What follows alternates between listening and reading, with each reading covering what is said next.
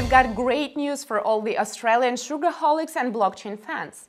The government of Australia has started using blockchain-based encrypted data for its sustainable sugar project to let buyers of sugar know from where the sugarcane originated, along with data surrounding the sugarcane farm sustainability.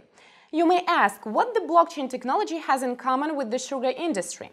Well, according to a press release from the Government of Australia issued recently, this technology would provide sugar consumers with the assurance of the sustainability of Australian sugar while also ensuring that all cane farmers use the most sustainable practices to produce sugar that attracts the best prices.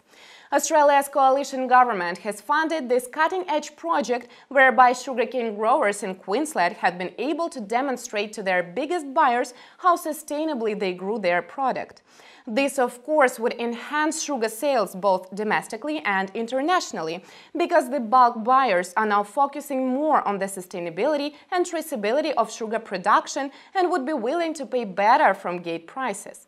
This is further supported by the fact that blockchain ensures total transparency between all parties concerned and all encrypted data stored on it is tamper-proof.